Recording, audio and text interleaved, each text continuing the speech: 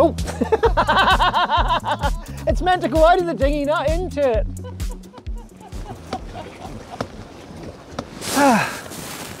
we left the dinghy here, but due to rain, it's filled up. So we've got to move the dinghy uh, because we don't want it here. Once, once before, we had a big strong gust and it blew it up onto the pontoon. We don't want that again. So we're going to just move the dinghy over to the boat. But while I have the dinghy here, I'm standing in water, uh, we want to talk about how we lift the dinghy out. So if you just give me two minutes and by the magic of YouTube, you don't have to sit through it. I'm going to get rid of this water so I don't get cold feet because it's freezing. no, not again! Ah! You can just lift the boat and uh, drain it through the back. I know I can lift the boat and drain it through the back, but with the weight of water in here, it's actually quite heavy. There's quite a lot of water in here, so I'd rather pump it out.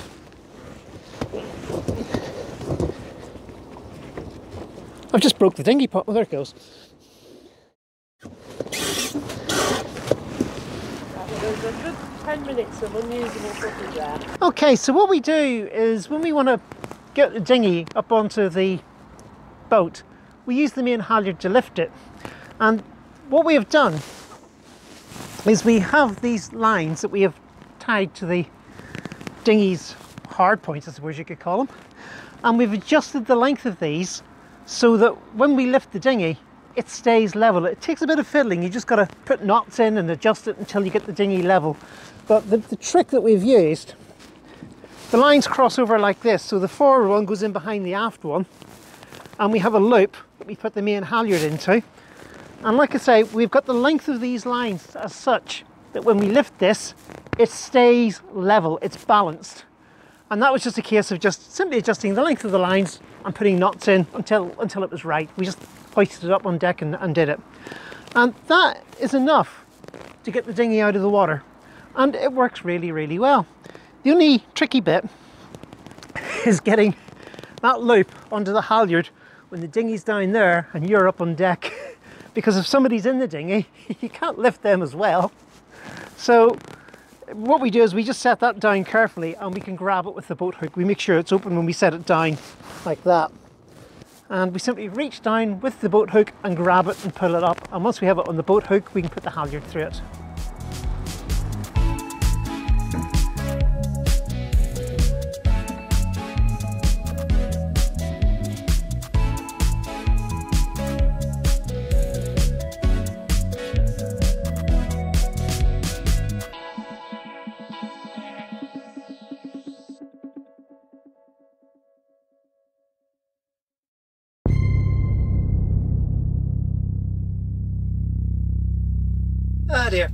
Welcome to this, the first of our series on night sailing.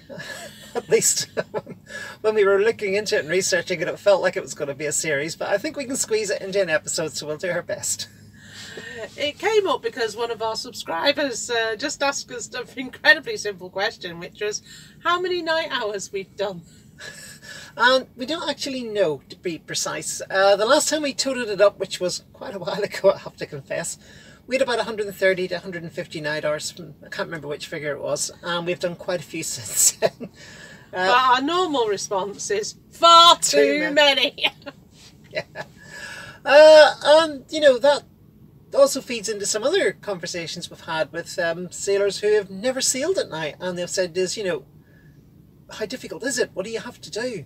Um, so we thought we would do this episode on night sailing and what you need to do for it to make it as easy as possible.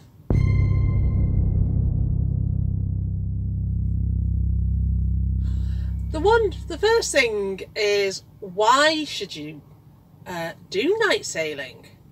Um, I mean, say in a lot of places in Scotland, you can get everywhere and do time your passages so that you just do daytime sailing. Yeah, I mean, by and large, if I don't have to sail at night, I won't do it. It's not. It's not my first preference. It certainly isn't mine. I would uh, prefer not to night sail. Oh, well, I look, feel and look like uh, rubbish, but there you go. Only because it's very early. It's just gone past midnight here on Salty Lass. Um, but the um, high tide in Liverpool is at two o'clock in the afternoon. But if that's the way it's going to work, uh, for instance, duration. Some passages are just going to take too long. Mm. Um, a good example is going from Liverpool to the Isle of Man. Yeah, it's a 14 hour passage any way you cut it. So unless you do it really in around June 21st, you're not going to get 14 hours of daylight. It's not going to happen. Um, so what you need to do is um, you try and time it so that when you leave, which is the complex bit, and when you arrive, which is another complex bit, they're the bits that are, are in daylight. Yeah.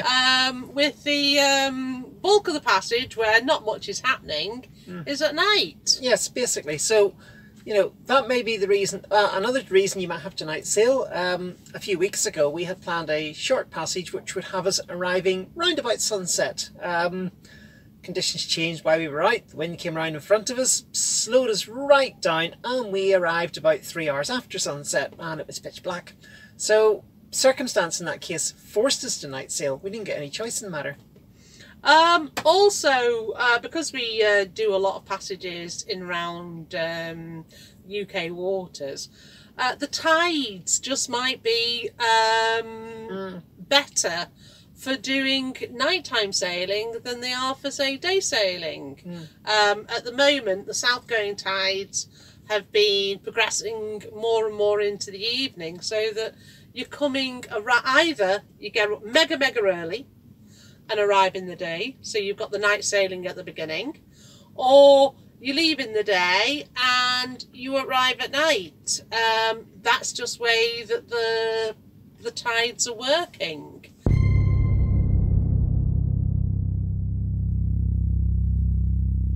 So, if you've determined that for some reason you're going to have to night sail, or if there's a possibility it might happen to you because conditions are maybe unpredictable, um, the next question is how? How do you organise yourself for it? How do you make it as straightforward as possible? Because your lookout is going to be massively impaired because you can't see anything. So, in preparation, some of that preparation is gaining knowledge. Hmm. Um, for instance, knowing what lights look like at night, Mm. um, how your buoyage looks, knowing what light patterns um, are on your buoys and things like that is gaining some knowledge. Yeah, particularly particularly if you're going somewhere you're maybe not too familiar with. Um, for instance, if you were coming into Carrick, uh, obviously the marina entrance is marked by two laterals, uh, a red and a green. So is the harbour. And the harbour is like 200 metres away from the marina, and it's also marked with a red and a green, and they both flash. So you need to know which set of reds and greens are the harbour, and which set of reds and greens are the marina. Otherwise, you could wind up in the wrong place. Um, so, you know, reading up in advance and making a few notes about what you're going to expect to see when you get to the other the other end is is an important factor.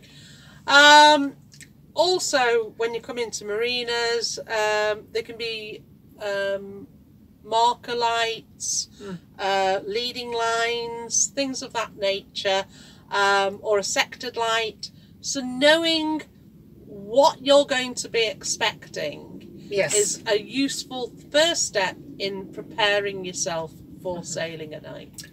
Uh, the next thing you should consider is the crew. Uh, sailing at night is harder on the crew. There's no two ways about it. It just is. Uh, and it's harder on the crew because nobody can see what's going on around them and it's colder. It is a lot colder sailing at night than it is sailing in the daytime because you've no sunshine. Um, so you will need good warm clothing. There's no two ways around that. Another thing is um, our spray hood is up. Yeah. Because that gives at least some protection from the wind. You get some protection from the spray hood and it does make a difference. It does. We did one sail. One sail with it down. we were freezing even in the millions. Keep it. I miss the spray hood. So yeah, if you have a spray hood, put it up. Uh, don't worry about the loss of visibility. It's pitch black. You can't see anything anyway. Think Make sure you've got things like decent food, and it's got to, it needs to be hot food and Yeah. hot drinks. if you're expecting to do like six or eight hours in the dark, then make sure you got at least two meals. You know, three four hours apart. Uh, we use soups a lot Mm-hmm. at night. Um, just sort of like, even if it's just like half a, a cup of soup, that will just warm us up. Um, Half a cup of soup, bread roll. and a bread roll. Yeah. So having lots of hot drinks and things of that nature is very, very important.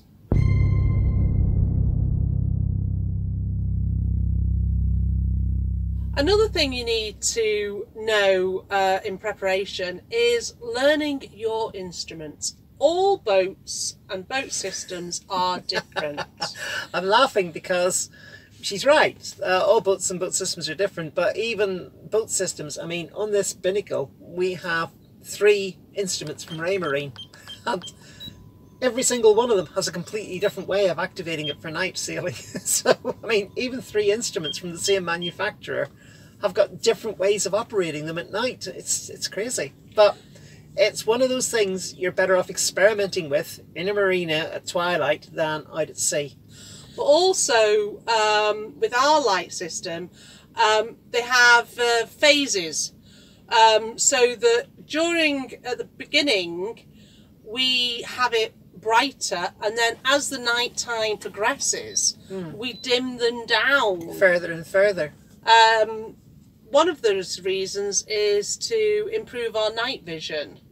Um, and otherwise, and um, because if you look at the screen, it can be a bit far too bright, and you Actually, if you get well dark adapted, looking at the screens if you haven't dimmed it down can be can be painfully bright. It's it's it's actually hard to read them because they are so bright you have to squint at them, and that's just not on.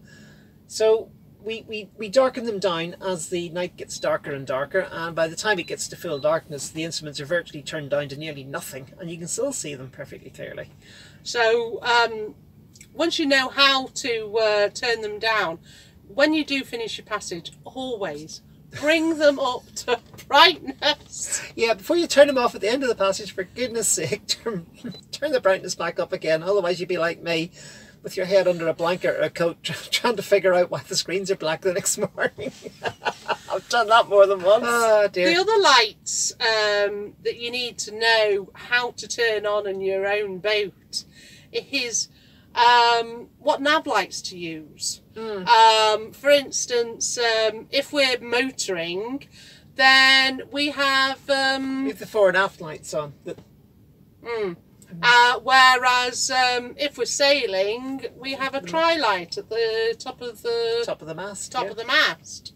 So knowing uh, which lights you need uh, for the different circumstances. And check the bulbs. Make sure they actually do work. So make sure you do have the right light uh, for being at night.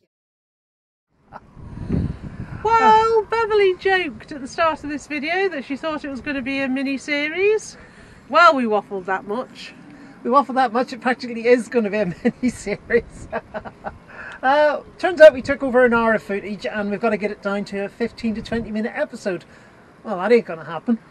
So, the upshot of this maneuver is that we're going to wind up having to do two episodes. So, you've obviously just watched the preparation for a passage and what to do for the boat and the crew and what you should expect. And in next week's video, we will do the actual mechanics of the passage, the actual sailing at night, what you should look out for, how you should organise the boat, and what to do when you're coming in and what you should be looking out for. So, there's lots to watch in next week's episode.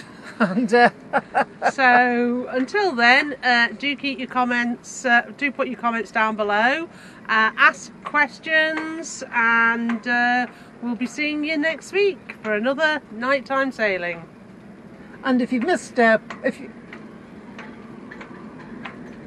I was going to say if you've missed part one, but you can't do this is part one, and you can't watch part two yet. No, you can't.